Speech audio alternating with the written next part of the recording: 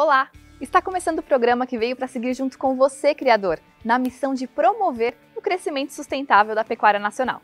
O foco é aumentar a produtividade e, ao mesmo tempo, cuidar da sustentabilidade ambiental, promover o crescimento socioeconômico e melhorar a vida das pessoas, da comunidade. Tudo isso em sinergia, junto com todos os elos da cadeia produtiva. Assim, o sucesso da sua fazenda vai ser pautado em valores que garantem o futuro das próximas gerações. E esse futuro começa agora.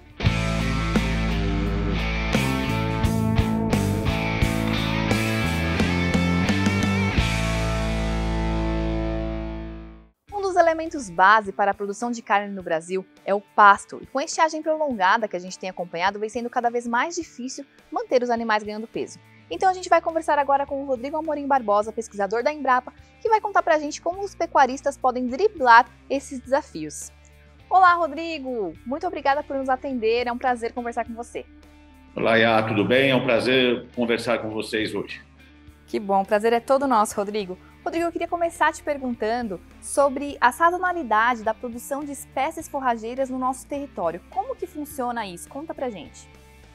Olha, é, é, isso é interessante. Né? Eu, eu, gosto porque o nome do programa é Pasto Extraordinário e ele é realmente extraordinário, mas ele não faz milagres. Quer dizer, é, a gente tem esse problema de sazonalidade é, praticamente em toda a zona produtiva nacional. Então, você tem isso e isso é mais caracterizado na, na, nossa região de maior produção, que é o Cerrado, né? Aonde você tem um período aí que nós colocamos normalmente de 150 dias, cinco meses, quando a gente tem esse problema que é ocasionado principalmente pela falta de chuvas, né? Então as plantas deixam de crescer por esse estresse hídrico e muitas vezes, como é a situação que nós estamos vivendo agora, associado ao frio intenso. Então, essas plantas tropicais, por mais que elas tenham alta capacidade produtiva, nessa época do ano, elas reduzem drasticamente o seu crescimento. Assim, é, é coisa de ela ter perder 90% da sua capacidade produtiva. Então, isso é muito complicado para você fazer toda essa equação de número de animais na propriedade e quantidade de forragem disponível. Você vai ter uma série de opções que você pode usar para tentar minimizar esse problema. Mas você não, é muito difícil você, é, posso dizer, é, eliminar, por exemplo, em zero a questão da sazonalidade produtiva. Isso praticamente não existe. Certo. E qual a principal alternativa que os produtores aí têm, então, para driblar essa dificuldade? Joia, olha, a gente tem é, suplementações estratégicas, suplementação tanto com volumoso, é, o planejamento do, da, da sua área produtiva, como a, a confecção do, de, de, áreas para vedação para uso de feno em pé, tá certo? Você tem é, a venda de animais, né, o sequestro de animais, então uso de silagem. Você tem uma série de alternativas é, que minimizam esse tipo de problema, tá? Até, por exemplo, um, uma situação que você tem a possibilidade de uma irrigação, você consegue minimizar um pouquinho os efeitos é, dessa sazonalidade, porque normalmente no cerrado a, o nosso maior, a nossa maior dificuldade, apesar de você ter uma diminuição do comprimento do dia, que implica no crescimento da planta, mas o nosso maior problema é a falta de água. Então, quando você uhum. se dispõe de uma irrigação, por exemplo, você pode, é, vamos dizer, antecipar a saída do período seco, que normalmente agosto, setembro ainda está seco, mas você já tem temperatura, e você prolongar um pouquinho da época de chuvas, né, a partir de maio. Então, todas essas é, opções elas estão disponíveis ao produtor, e aí é lógico, né, tudo vai depender do nível de gestão da, da, da propriedade rural, de, de, o que você normalmente pode fazer para minimizar esse efeito. Via de regra, o que é mais comum é a utilização de algum pasto que você vedou na época das águas, porque não adianta você vedar o pasto no seco, é, associado com algum tipo de suplementação, né? Ou uma suplementação mineral, ou, uma, ou até uma suplementação concentrada. Perfeito, Rodrigo. Agora a gente falou um pouquinho aí da gente ajustar também a lotação, né? Ajustar a quantidade de gado por área de pastagem. Então, quais são as alternativas? Como que o produtor pode fazer isso da melhor maneira? É, é esse é o principal, a principal chave de todo o processo. Você equacionar é, essa questão de oferta e demanda de alimentos. Então, se você tem pouca, demanda, é, pouca oferta de alimentos, quer dizer, você obrigatoriamente tem que dispor de alguns animais ou você tem que aumentar seu estoque de comida, com feno, com silagem, tudo. Então você ajusta isso.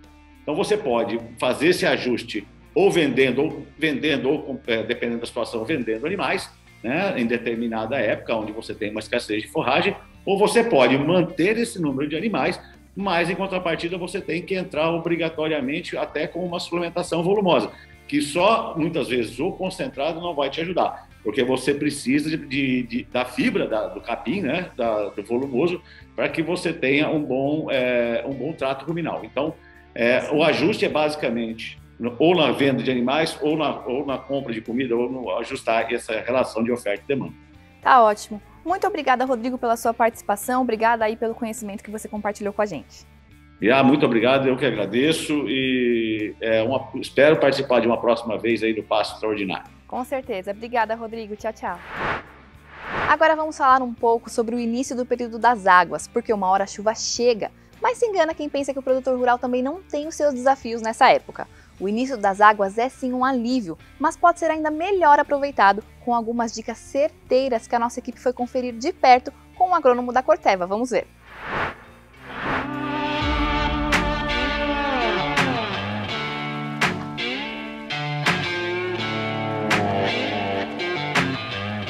Principal agora é ajustar a nossa taxa de lotação. A gente pode ver nessa situação aqui, quando o capim já está muito mais seco do que ele estaria é, num período de chuvas. A gente já não vê mais as folhas verdes, vislumbrantes que a gente veria durante o período chuvoso. Então agora a gente tem um capim com folhas mais secas, com uma qualidade nutricional mais baixa e que precisa ser é, precisam adotar algumas estratégias para que a gente possa aproveitar o máximo dessa produção, sempre muito atento aí ao nosso manejo. Então tomar muito cuidado em ajustar a nossa taxa de lotação à capacidade do suporte do nosso pasto. O que, que é isso? Taxa de lotação é a quantidade de animais que eu coloco dentro daquela área. E a capacidade de suporte é quantos animais o meu pasto suporta naquela mesma área. Tá? Então a gente precisa estar muito, uh, muito bem preparado para que a gente consiga fazer esse ajuste, que a gente não tenha uma quantidade de animais na área muito grande para que a nossa uh, demanda por alimento seja muito mais alta do que a nossa oferta de pasto. Porque isso vai fazer com que a gente tenha o chamado superpastejo, ou seja, a gente vai pastejar o pasto é, até alturas aí muito baixas, muitas vezes até expondo o solo, é, deixando áreas vazias no solo. Isso é muito prejudicial, porque você vai fazer com que a sua forrageira precise queimar reservas, queimar sistema radicular para emitir é, brotação, que você pastejou ela demais. E ao mesmo tempo você começa a deixar esses espaços vazios, que quando a gente voltar a ter chuva, o período chuvoso, vai fazer com que a planta daninha tenha condições ideais para rebrotar. Então, se a gente tem um pasto é, que a gente está percebendo que tem muitos animais é, para a oferta de forragem que a gente tem, a gente precisa retirar um pouco desses animais, seja vendendo ou transferindo para outras áreas. Se a gente não é, toma cuidado com a altura do pasto e começa a ter excesso de áreas, é, de espaços vazios nessa área, a gente vai ter aí é, condições ideais para que essas plantas daninhas possam germinar e estar tá competindo com o capim. Tá? Se isso acontecer, é, muitas vezes a gente sabe que acaba acontecendo, a gente muitas vezes não tem como retirar os animais da área e esses animais acabam pastejando um pouco mais e esses espaços vazios começam a aparecer, a gente tem que estar muito atento para fazer o controle das plantas daninhas antes que elas comecem a competir com a nossa forrageira logo que volta o período chuvoso. Então sempre que a gente vê, é, fizer uma análise da área, um técnico conseguir fazer uma análise, é, identificar o momento ideal para entrar com a aplicação do herbicida, é, a gente precisa fazer isso para possibilitar que o nosso capim rebrote com mais vigor é, e mais velocidade logo que o período chuvoso volte. O momento ideal é, é sempre antes que a planta daninha comece a competir com o capim por água, luz e nutrientes, que são as principais, principais formas de competição que essa planta daninha exerce em cima do capim. Normalmente, isso aí fica próximo de 25 a 30 dias após a germinação dessa planta daninha. Não existe uma regra de bolso, isso precisa ser avaliado, mas normalmente é mais ou menos nessa época. Então, quando ela já tem uma, um tamanho, aí, uma quantidade de área foliar que ela consiga absorver é, o produto, tá, o herbicida, translocar até o sistema radicular e ser controlada antes que ela comece a exercer pressão e competição sobre nossa forrageira. Durante o período seco, a gente não pode fazer o controle de plantas daninhas de forma foliar, né, com aplicações foliares. Então a gente já trabalha com o que a gente chama de aplicações localizadas, ou no toco ou basal. A aplicação localizada no toco consiste do corte da planta daninha rente ao solo, e a aplicação imediata é, do produto direto no toco, como se fosse uma injeção na veia. Então esse produto é translocado até o sistema radicular e essa planta é controlada é, por completo, ela não rebrota mais. Ou é, a outra opção é o controle localizado basal, que é a aplicação de um, de um herbicida direto no caule da planta daninha, tá? onde ela absorve ali, transloca também até o sistema radicular para que ela seja controlada por definitivo sem rebrotes. É importante ressaltar que o controle localizado tanto no topo quanto basal, ele é feito em plantas semilenhosas e lenhosas. Como é que a gente faz para evitar que uma planta apareça no nosso pasto? Você tem que ter pasto coberto, tem que ser solo coberto. Se você tiver manejo adequado, você consegue ter sempre é, um pasto limpo.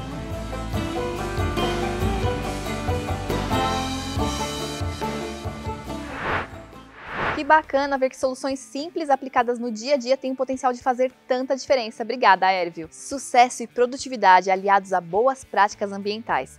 Esses são os pilares da Fazenda Cachoeira. Uma história que vocês conferem com a gente no próximo bloco. Até já!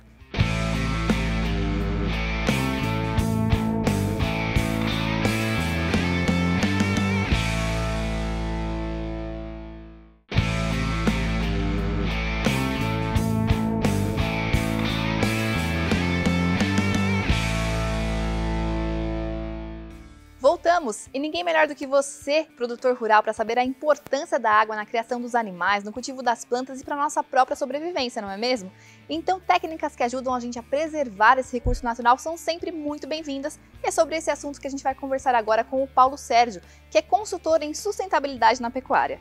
Olá, Paulo, seja muito bem-vindo ao nosso programa.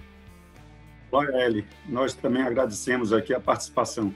Paulo, antes da gente falar sobre realmente sobre água especificamente, eu queria falar sobre sustentabilidade como um todo. O que para você são os pilares para produzir com sustentabilidade na pecuária? Pierre, nós consideramos eh, os três principais pilares: o social, o econômico e o ambiental.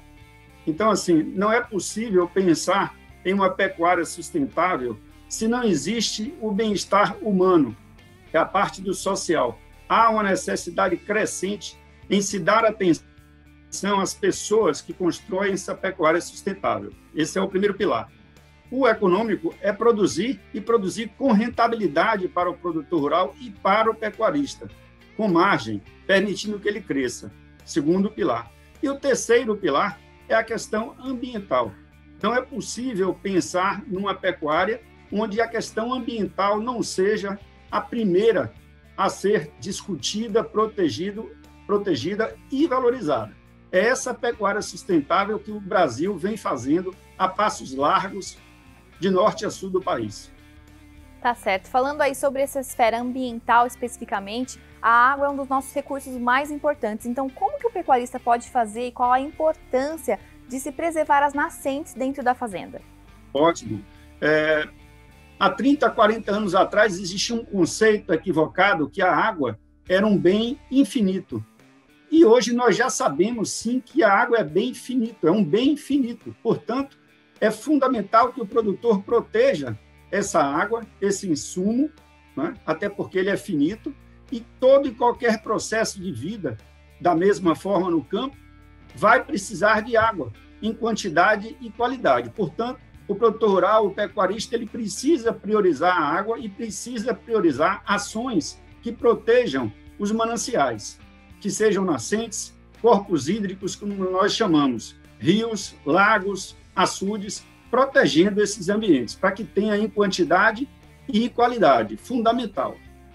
Certo, e falando aí dessas ações, quais ações você mais indica são as mais imprescindíveis que todo criatório precisaria fazer para realmente conseguir proteger essas nascentes, esses corpos hídricos, enfim?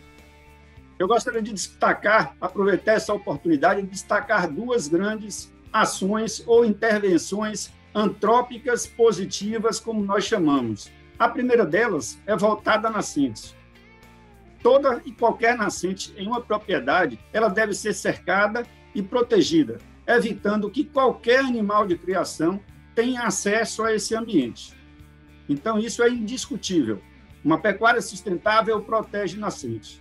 E uma segunda ação, também de grande importância, é fazer com que nenhum animal da criação tenha acesso aos corpos hídricos naturais.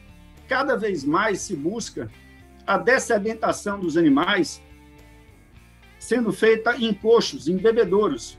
Então, evitar que os animais cheguem até as margens dos rios, porque margem de rio significa mata ciliar. E mata ciliar precisa ser protegida, precisa ser defendida por nós, profissionais de ciências agrárias, produtores rurais e pecuaristas do nosso país. Perfeito, perfeito.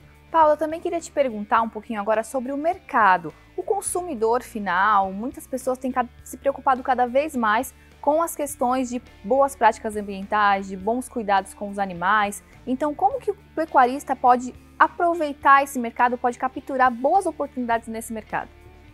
Perfeito. E eu vou começar, eu costumo falar nas minhas palestras, nos bate-papos, eu passo sempre do consumidor este que está no supermercado, escolhendo os seus produtos nas gôndolas dos supermercados e voltando os elos da cadeia até chegar ao dentro da porteira, como nós chamamos. O produtor, o consumidor, ele está cada vez mais atento às etapas produtivas do processo produtivo. E com as tecnologias é possível sim fazer rastreabilidade e o consumidor quer saber quais os impactos ambientais que cada etapa provocou no meio ambiente. Então, ele, no momento da sua escolha, ele escolhe os produtos nas gôndolas dos supermercados, aqueles produtos com menor impacto ambiental, ou seja, mais sustentáveis possíveis. E se você volta lentamente o elo da cadeia, os elos da cadeia até chegar no produtor rural, percebe-se que está aí uma grande oportunidade, porque o produtor, ele valorizando, ele respeitando o meio ambiente, ele agrega valor ao seu produto, no caso específico aqui, a arroba do boi, e ele consegue vender com valor agregado maior. Esse é um grande diferencial. Conta ainda com o segundo grande diferencial, que vem crescendo no nosso país, já é comum em países da Europa e no Brasil vem crescendo ano a ano, são os pagamentos por serviços ambientais, conhecidos como PSA, que remunera o produtor rural, o pecuarista, por ele proteger mananciais, meio ambiente, reserva legal, mata ciliar. Portanto, passa a ser mais uma renda que o produtor rural, que a propriedade vai ter. Perfeito. Muito obrigada, Paulo, por todas essas informações. Parabéns pelo seu trabalho. Muito obrigado pela oportunidade, Yaeli. Como nós conversamos agora com o Paulo Sérgio, produzir com sustentabilidade significa trabalhar com rentabilidade, mas também pensando nas esferas social e ambiental. E é isso que a Fazenda Cachoeira faz e faz muito bem. E a gente foi conferir essa história lá no interior de São Paulo, no município de Itaberá. Vamos ver.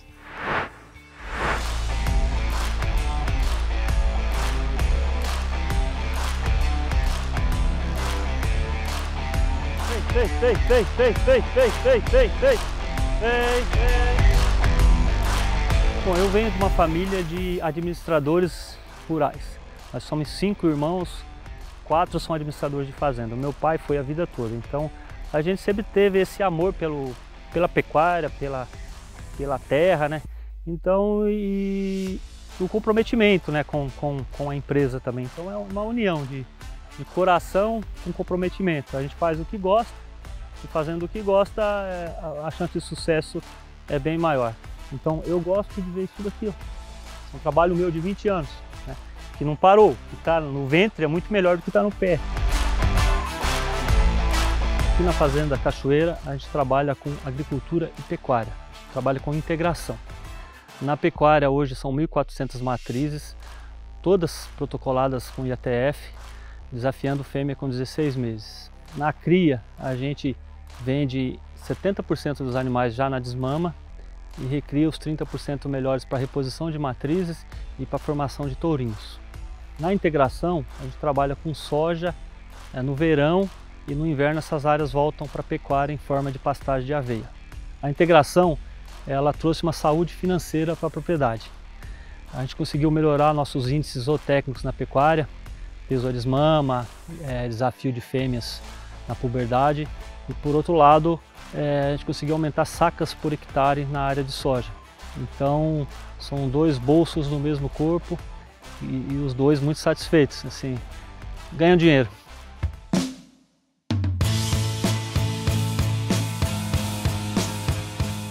muito orgulho da Fazenda Cachoeira aqui no município de Itaberá, uma das fazendas que levam o nome do município Brasil afora, né? Pois é uma fazenda que é referência naquilo que se propõe, nessa integração do cultivo da agricultura, da pecuária, essa maneira de produzir sustentável, da rotatividade que eles trazem e que serve de exemplo e de inspiração para outros produtores aqui do município, da região e que a gente sabe até que a nível de Brasil muitas pessoas chegam aqui na Fazenda Cachoeira hoje para se inspirar, levar esse trabalho adiante. Então, para nós, a Fazenda Cachoeira é muito mais que uma referência, é um orgulho, é uma joia para o município de Itaberá é, em momentos de estresse hídrico, momentos de excesso de lotação, a gente tem problemas com ervas daninhas. A gente trabalha com adubação, muitas vezes elas é, tiravam esses nutrientes da braquiária e acabam estava adubando a erva daninha. E hoje nós temos um parceiro na fazenda, que é a Corteva.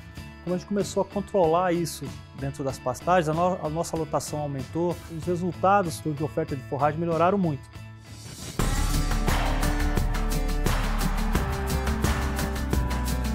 fazenda sempre teve esse lado ambiental, de cuidar das florestas, cuidar das, das nascentes, das matas e tentando ser produtivo nessa área. É uma fazenda muito rica em água, uma fazenda abençoada com água e a gente então cuida disso. Todas as áreas é, são preservadas com, com APPs e o gado não tem acesso, são apenas acesso de bebedouros. Nós estamos a, a 300 metros de um rio e a gente não tem nenhum tipo de erosão aqui nessa área. Aqui na fazenda isso é tão importante quanto as matas para a gente manter é, o solo em boa conservação e isso enriquece o lençol freático. A gente precisa conservar isso, nós temos que pensar e temos que melhorar porque alguém vai depender disso lá na frente, né? A gente olha isso com carinho, tem que olhar, é o futuro, né? É o presente pensando no futuro.